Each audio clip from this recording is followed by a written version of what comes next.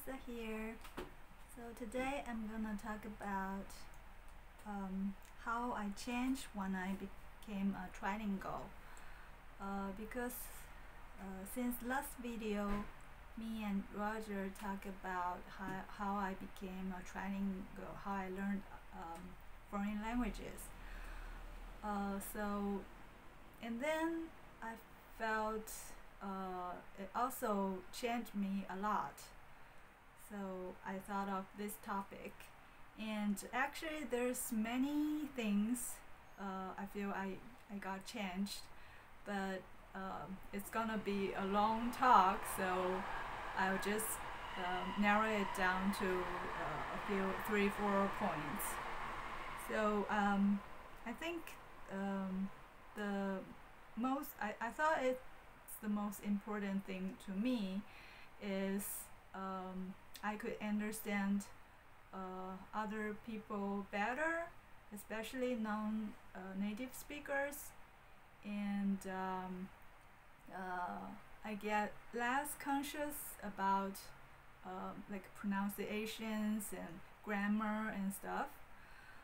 Um, so before that, when I was when I was uh, a child, uh, when I was uh, little, um, when I didn't speak any other languages, um, and uh, since I was born in Beijing, China, and Beijing is the capital uh, in China, and uh, people from Beijing has kind of some uh, pride um, for uh, for for uh, us their Beijingness, you know, um, and uh, I was too, and um, um, like uh, I was kind of sensitive about uh, the dialect and people's pronunciations and stuff.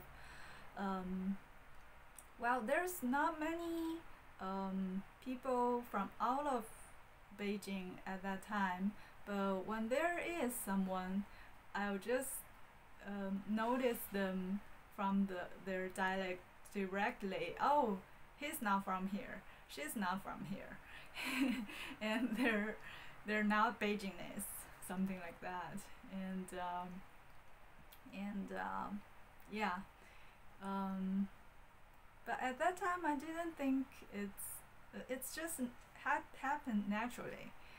Um, yeah. So, but when I came to Japan, suddenly I became the foreigner, and uh, I couldn't speak um, Japanese as a native speaker, and uh, uh, yeah, it took a long time to speak uh, Japanese fluently uh, to me.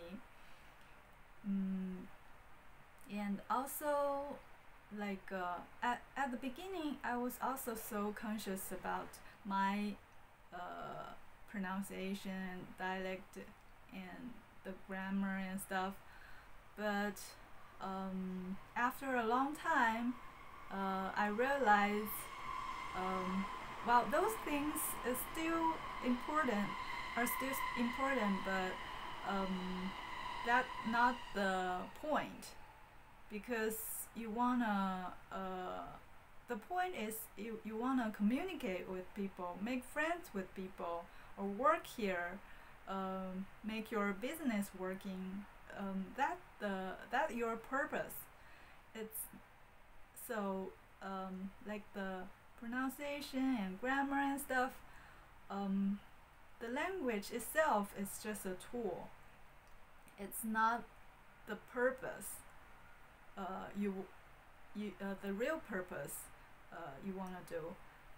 So I can I kind of uh, change my focus uh, not only on the pronunciation and grammar and stuff, um, kind of change my purpose on other more important things.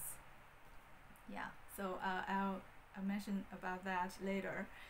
Um, yeah, that's a, a big change to myself, to my mindset. So uh, um, uh, I wish uh, this kind of opinion will help you uh, when you learn other other languages and when you're so um, afraid about um, your own like pronunciations if, if you have dialect or not. Um, yeah those, those things it's good to improve that uh, better and better but that's not the main purpose you really want to do. So to find out uh, your main purpose what you want to do with this language. Yeah. So that's the really important thing for uh, learning language and even other things. Yeah. okay so move on to the next point is um, I also learned how to make friends uh, it doesn't mean I couldn't make friends before. It's just you just make friends naturally when you grown up uh, at some place. Yeah you just mm, never think about how to make friends. So uh, you just make friends with those bunch of kids um, uh, grown up together. Um, but when I moved to Japan so I, I had to um, start it from zero uh, everything. I had no friend, zero friend in here, so I had to start it from the very very beginning. Um, and um, yeah, I didn't speak the language. I didn't know the culture. I uh, you know, and I already was like 17 years old. It's kind of mm, kind of adult, right? Young adult, I guess um, so I found it really hard to make friends. Um, it's not just only because uh, just Japanese people uh, this or that. It's also uh, because of myself. Um, so I think speak the language is really a big thing, but uh, even before that, there's something you you can do. Uh, I think. I think it's also uh, open up yourself, uh, that kind of thing, and uh, um, the magic, um, the magic thing to make friends is find the common things you like with other people, like the culture, uh, especially pop culture. Um, for example, if you like some, um, like some drama or music or like comic book uh, manga or something, especially in Japan, that's uh, really popular. Like uh, everybody uh, watch manga, animation, those kind of stuff.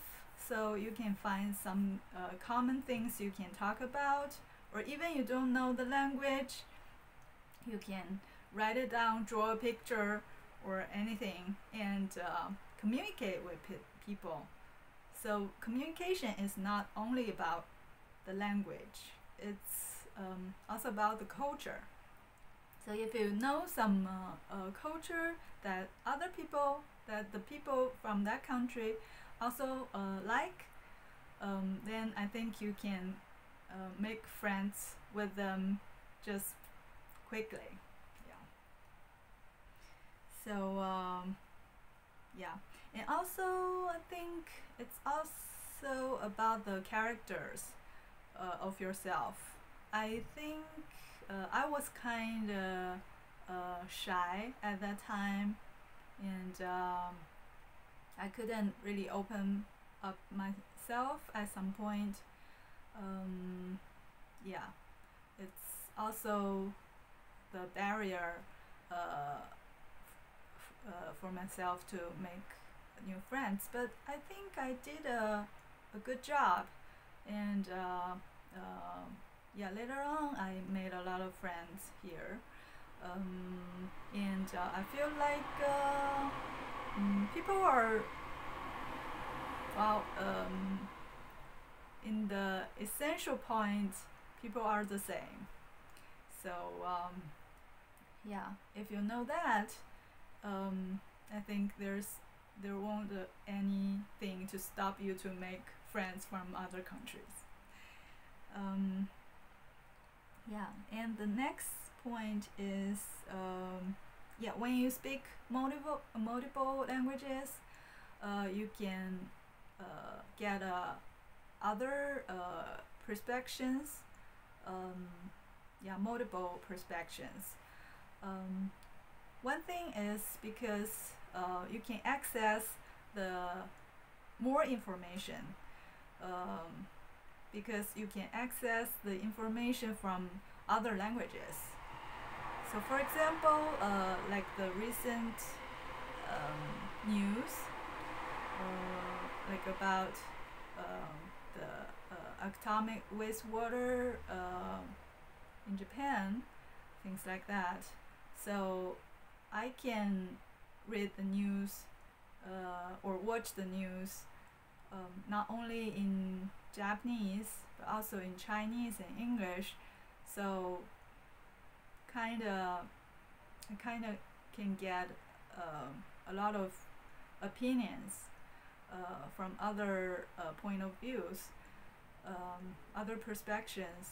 So that makes me think things not on the one side, uh, not so narrow, but I can uh, have an open mind um, to see this uh, kind of uh, uh, happenings, uh, kind of um, things. Yeah. Um, yeah, and also you can get more uh, entertainment because you understand uh, other languages and then you can enjoy um, like a more type of TV shows and um, enjoy like the movies. Um, you can uh, yeah listen to more songs. Um, yeah, a lot of entertaining stuff you can enjoy. So I think that's the uh, really um, uh, good point to understand other languages and culture. Because you need to know the culture to understand um, like the uh, what, what would you say? Uh, and uh, hidden text? I forgot the words. Yeah but you get you get the point so uh, and um, yeah another thing I think this is the last point is mm, yeah I think I learned how to learn new things quickly um, when I learned other languages. So um, uh, like uh, so so there's two kind of cycle one is the positive cycle and one is the negative cycle um, so the positive cycle is you want to do something and you start to do it, try it.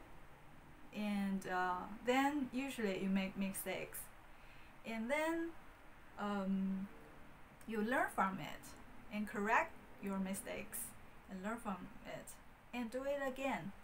So just and then um, continue make new mistakes and learn from it and do it again.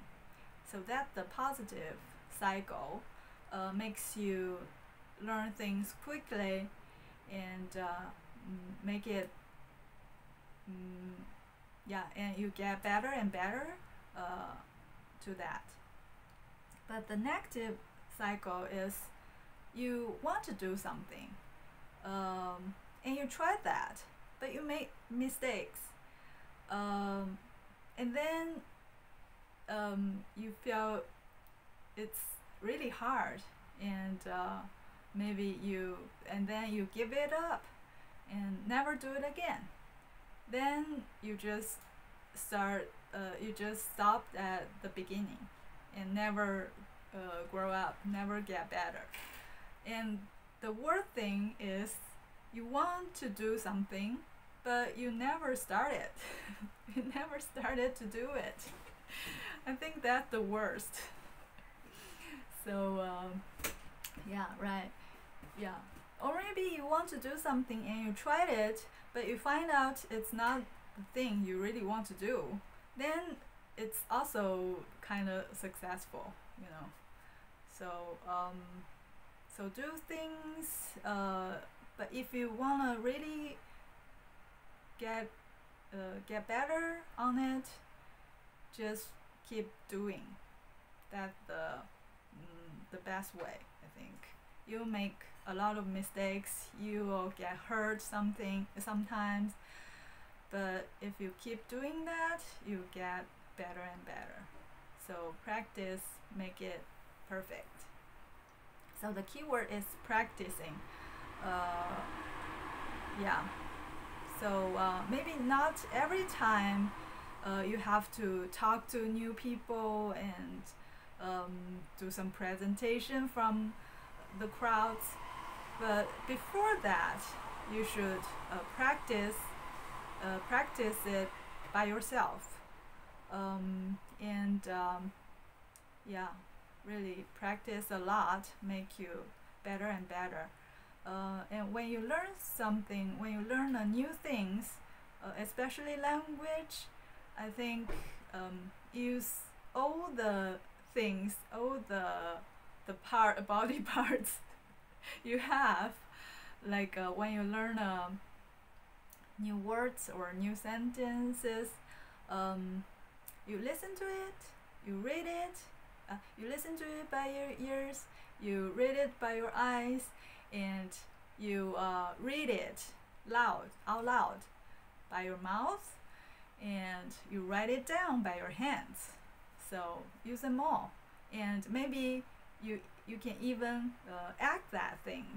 So think maybe you you uh, you learn a, a, a script on a in a movie or something and uh, think think you're think you're the actor think you're the um, heroine and uh, um, say the the script um, out loud um, with your emotion something like that. Make it make the uh, the, the the script as yourself so uh, as, as the thing that you say it by yourself and even make your own sentences by the new words.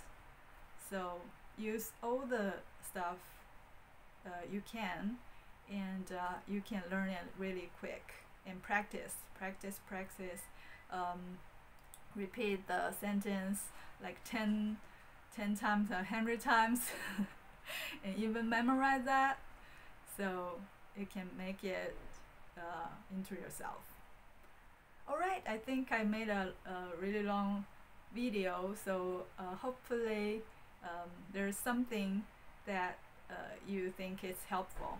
And I'll see you next time. Thank you for watching. Bye